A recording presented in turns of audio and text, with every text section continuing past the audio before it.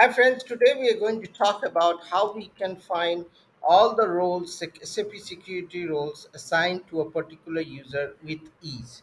So in S4 HANA, there is a there is a CDS role called P user role. Okay, P user role. And if I go here, display, here you can see this is a join. And if I double click on this data definition, this is a CDS view. Now, how can I what is the usefulness? So i'll go to SE16 or SE16 and or whatever you want. Uh, and here i will put this particular table and i press enter.